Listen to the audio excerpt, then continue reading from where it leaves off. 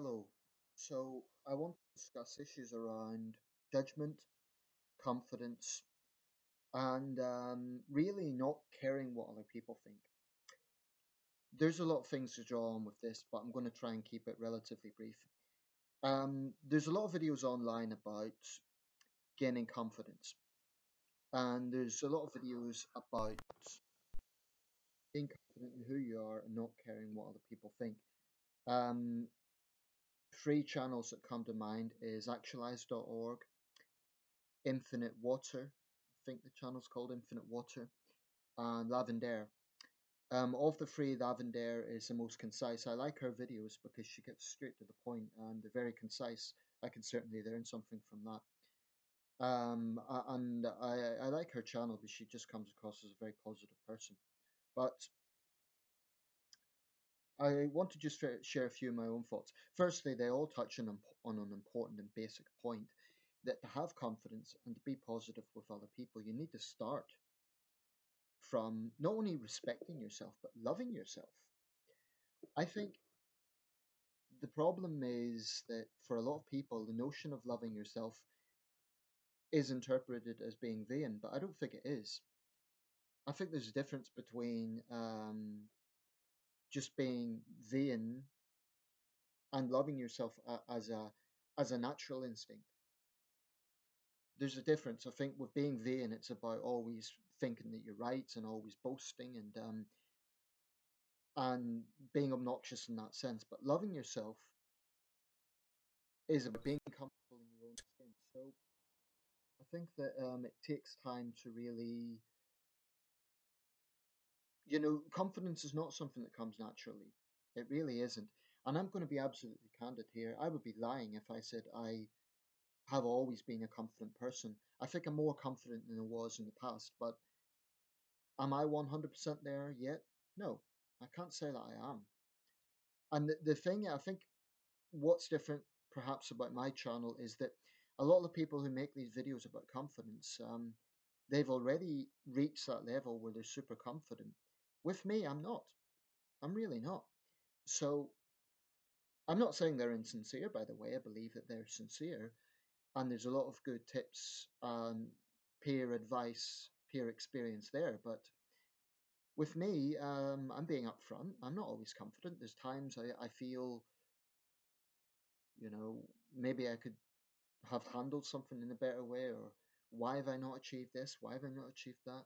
And then there's other times I feel, yeah, that was, you know, nice going. That that was something that you handled well.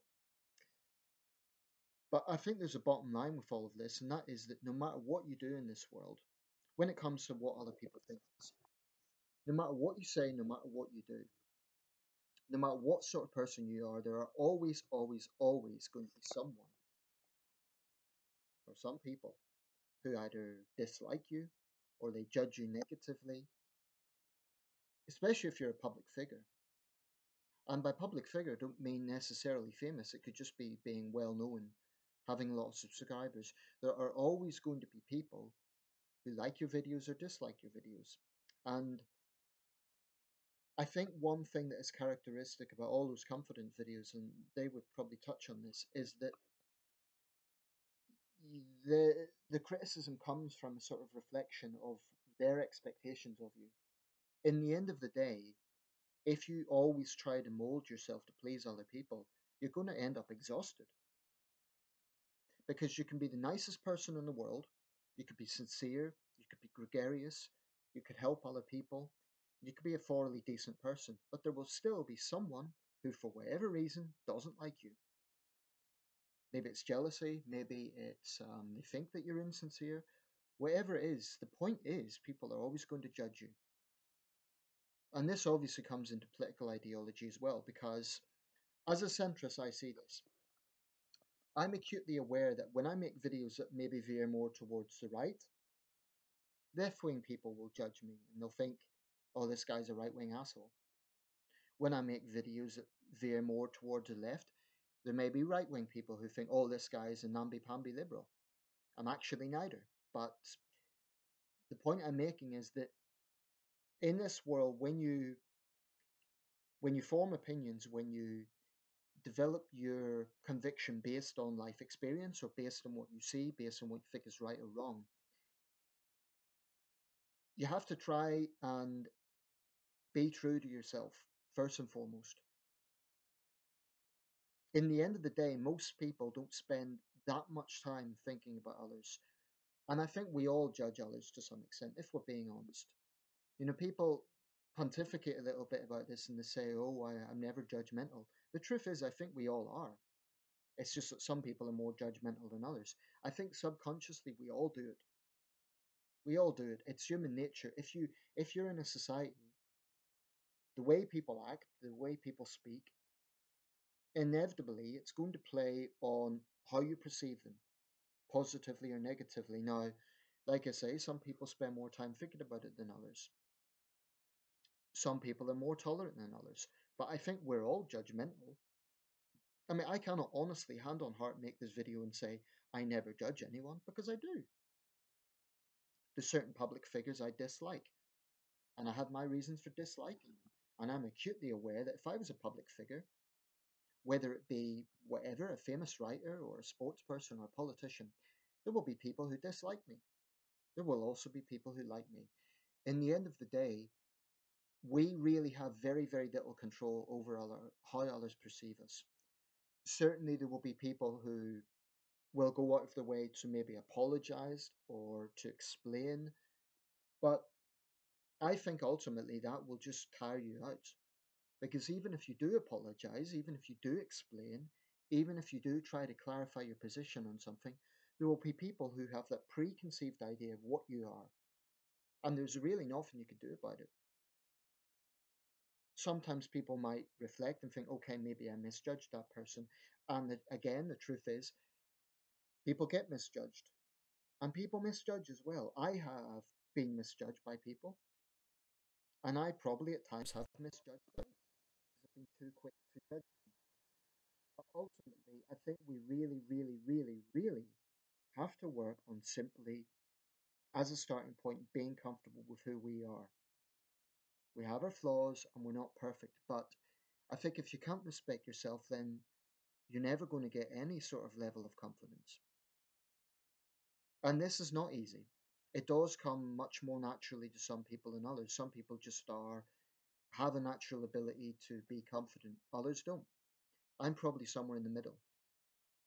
You know, uh, I'm not a shy person. I wouldn't say I'm an introvert, and I'm certainly quite forthright in my opinions.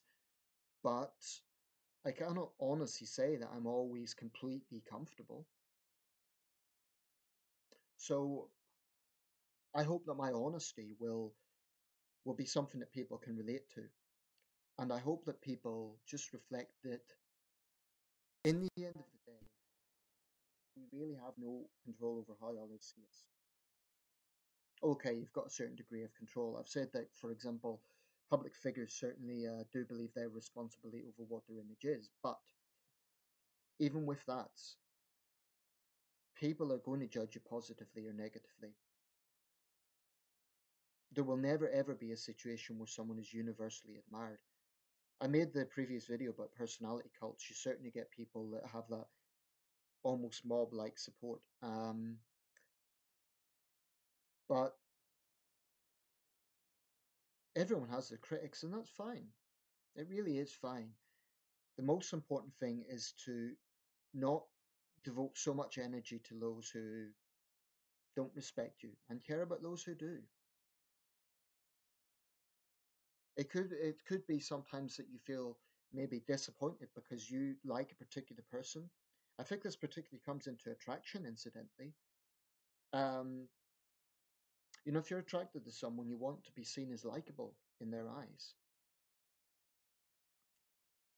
So, you know, I'm talking about perception and so on also comes into relationships. But ultimately, those are just a few things that I, I would ask people to think about. You cannot control how other people see you. You can only control how you see yourself and how you choose to go about things. That's it. That really is it. And it's not easy. Confidence is not something that everyone can naturally just get. It does take time. And it really, really takes practice to to learn to love yourself as a starting point. So thanks for watching and um, feel free to share your thoughts.